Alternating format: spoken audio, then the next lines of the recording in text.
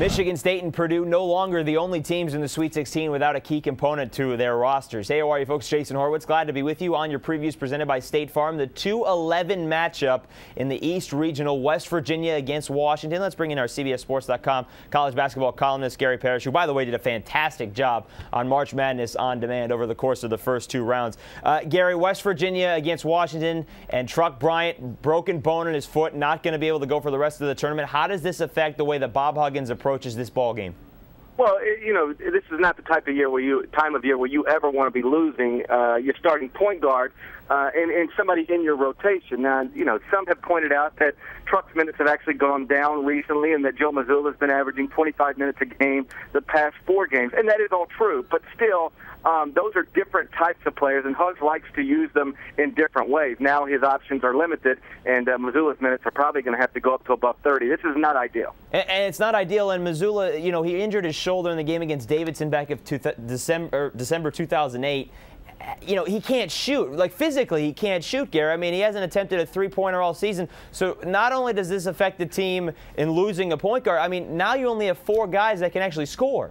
No, I mean you're exactly right. I mean a lot of times when we talk about college basketball players and guards in particular, we'll say, "Ah, the kid can't shoot," and we don't mean that literally. With Mazzulla, we literally mean he cannot shoot the basketball uh, from a physical standpoint because of the shoulder injury. So, I mean, you know, when you're the uh, opposing coach and you know that, it just makes everything uh, easier to defend. Uh, you know, Texas ran into it a little bit uh, with Dogus Balbay um, before he was injured, and it wasn't that he wasn't physically capable; he just could not make shots. So, you know, even Rick Barnes, out of his own mouth, said, "You know, we're playing four on five on offense, and that, that's uh, that's why they had to make a change there and go with J'Covan Brown."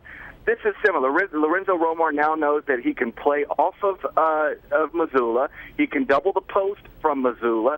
He can run people um, at Ebanks from Mazzulla. And when you can do all of those things, it makes scoring very, very difficult for West Virginia. And the other part is they have to, like Michigan State, go into this game doing something they haven't had to do, and that's playing without Bryant for the course of the season. Let's go at this from Washington perspective here, uh, uh, Gary. Uh, offensively, the Huskies have been fantastic in this tournament the whole season 80 points a game they scored 80 against marquette they scored 82 against new mexico uh, how do you think they perform offensively against west virginia's defense well, I mean, they're, they're really playing well. I mean, let's not forget, West Virginia is very big up front physical up front, and, and a good overall defensive team. So I'd be shocked if West, uh, I mean, if Washington comes out and just puts a big number on them and, and, and really embarrasses them.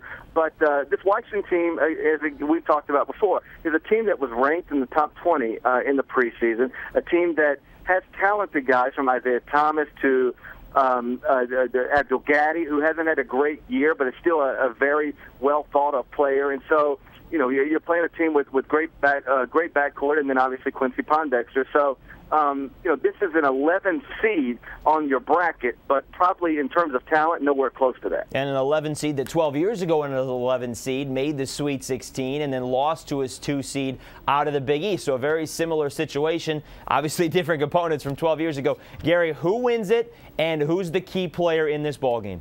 I, I still think uh, West Virginia wins the game. Uh, again, uh, if you take a step back, yes, this is this is a tough, tough loss. But uh, Mazzulla is tough enough to get you, you know, 25 to 30 minutes, and I'm not going to doubt uh, Da'Sean Butler at this point. I mean, he's been phenomenal, really, uh, all year long. But sort of came to the forefront in the Big East tournament, has been good again in the NCAA tournament, and I just think they're tough enough to get through this game. Eventually, I think not having uh, depth in the guard position will will be a problem, particularly if they have to play Kentucky and John Wall and Eric Bledsoe in the uh, Elite Eight. But that's a that's another discussion for another day. I think they're good enough to get past this one, and West Virginia will win the game. All right, Gary Parrish, thank you very much. Uh, you'll be at the South Regional in Houston. Look forward to reading everything you got from there. We'll miss you on March Madness on demand, bud. You're the best, Jason. I'll talk to you soon. All right, folks, for more on this game, keep it right here with CBSSports.com. Of course, it's Thursday night, 7.27 p.m. Eastern on CBS, and of course on March Madness on demand as well. For Gary Parrish, I'm Jason Horowitz. Take care, folks.